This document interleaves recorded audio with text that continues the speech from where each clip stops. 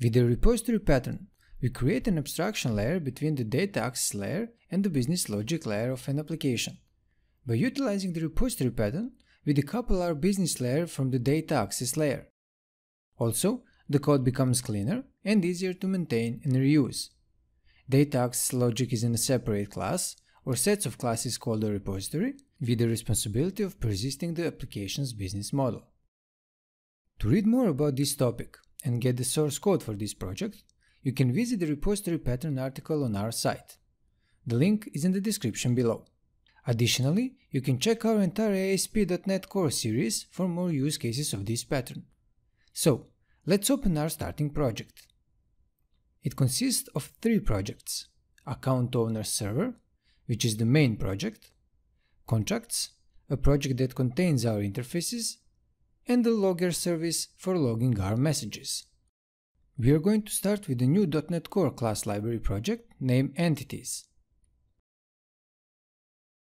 Let's add a new folder named Models, which will contain all the model classes. Model classes represent the database tables and we use them to map the data from those tables. Of course, we should not forget to add the reference to the entities project in our main project. So, let's add the owner class in the models folder. We use the table attribute to configure the corresponding table name in the database. Then, we create the owner ID property as a primary key for our owner table. After that, we add the name property. We want this property to be required, so we use the required attribute. Additionally, we want to constrain the string length by using the string length attribute. We need the date time property with the required attribute and the address property with both required and string length attributes. Our owner object is related to multiple account objects. So let's add the accounts property of type iCollectionAccount.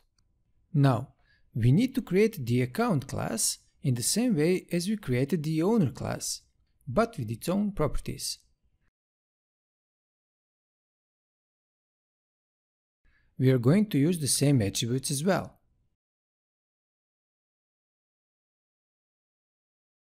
Additionally, we can see the owner ID and the owner properties decorated with the foreign key attribute to state that one account is related to only one owner. Now, we have to create the context class, which will be a middleware component for communication with the database. But before we do that, we have to install the Microsoft Entity Framework Core package. Now, in the root of the Entities project, we're going to create the repository context class. This class must inherit from the DB context class. In the constructor, we pass a DB context options parameter to the base class. And finally, create two DB set properties.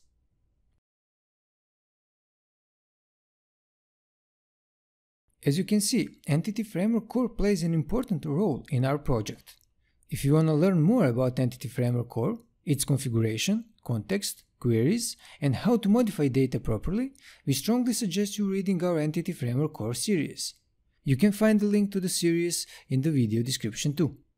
We use MySQL for the database, and to enable communication between the .NET Core part and the MySQL database, we have to install a third-party library named Pomelo Entity Framework Core MySQL.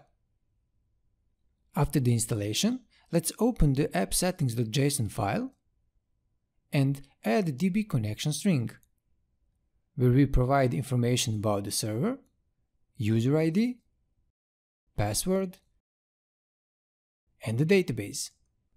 In the service extensions class, which is our configuration class, we're going to add the code for the MySQL context configuration.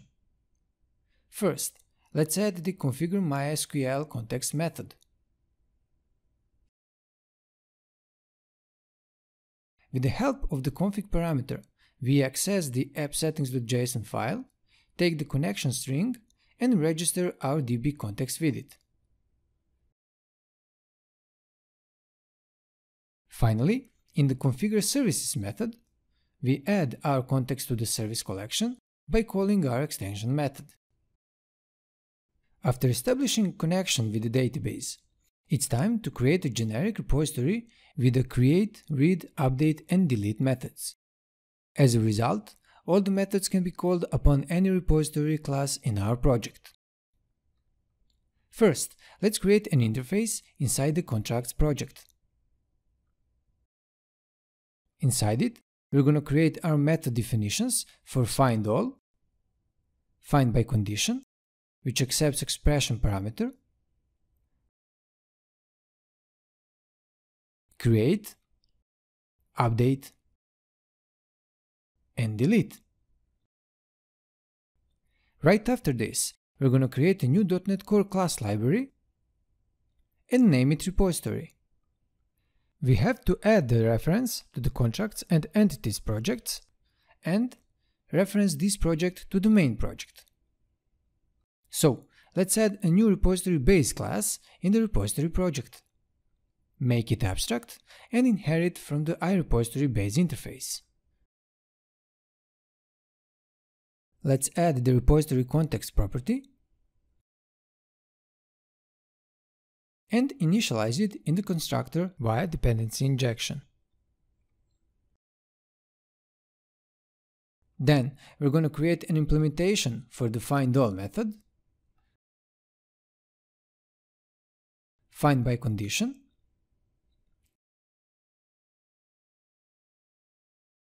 create, update, and delete. Once we are done, we're going to create interfaces in the contracts project for our owner and account classes. But before we do that, we have to add a reference to the entities project. As soon as we do this, we can delete the entities reference from the main project, because it's now provided through a repository project. After these actions, let's create the iOwner repository interface, which inherits from the iRepository base owner interface. We're going to do the same thing for the iAccount repository interface. Now, let's create repository user classes in the repository project. First, we're going to create the owner repository class, which inherits from the repository base owner class and iOwner repository interface. In the constructor, we provided the base class with the repository context object. Let's do the same actions for the account repository class. Just in this case, we are using the account entity.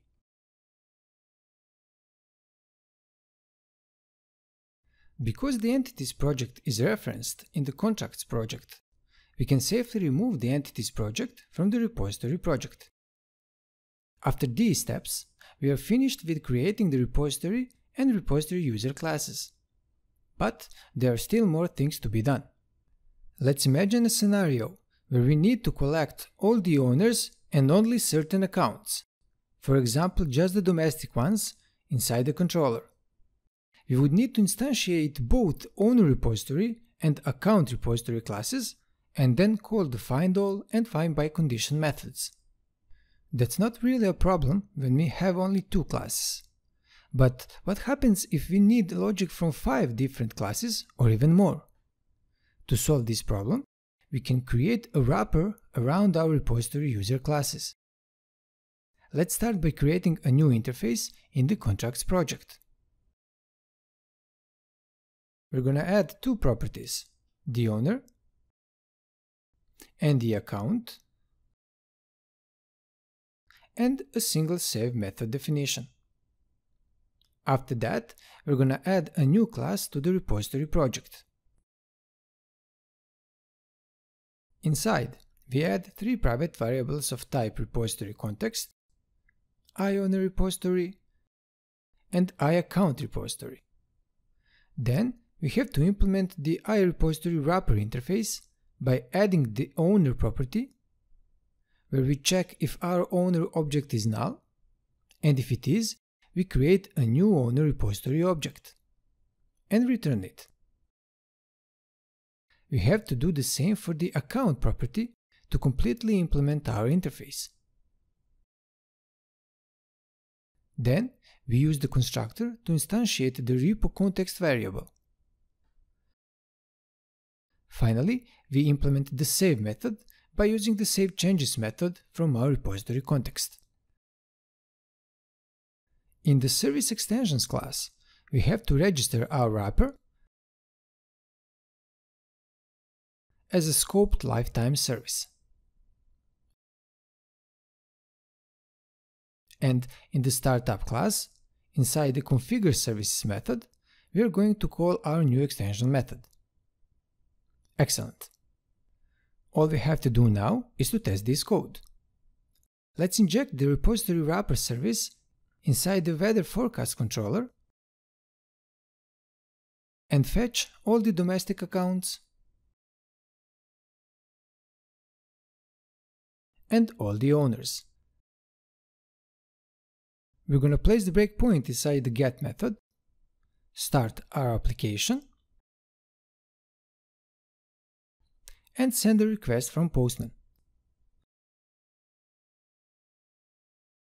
We can see all the domestic accounts returned from the database, as well as the owners. So, that's all for this video. To learn more about this pattern and how to use it in the real-world Web API project, you can visit our ASP.NET Core Web API series. If you like this video, we would highly appreciate if you hit those like and subscribe buttons down there. Of course, don't forget to visit the Code Maze blog to download the source code. If you like what you see, you can subscribe to our mailing list to get notified about our new content and videos. So, stay tuned and we see you again in another video. Until then, all the best.